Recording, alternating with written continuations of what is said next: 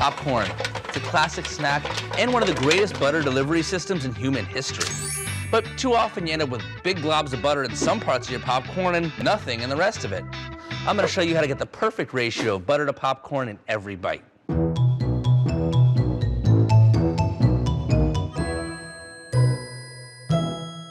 In a typical movie theater experience, the best you can hope for is that they put in half the popcorn, add a little butter, put in the rest of the popcorn, and some more butter.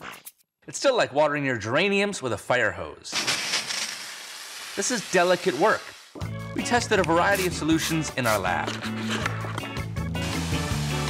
The technique we came up with is both effective and practical. We call it the pipeline. Simply attach a soda straw to the end of the dispenser to inject small amounts of butter throughout your popcorn. If you went with the large popcorn, you might need to attach a second straw to lengthen the pipeline. If the dispenser is behind the counter, ask for some butter in a cup, then use your straw like an eyedropper. Congratulations, your popcorn is evenly buttered. Now the only question is, how do you eat it without your hands getting messy?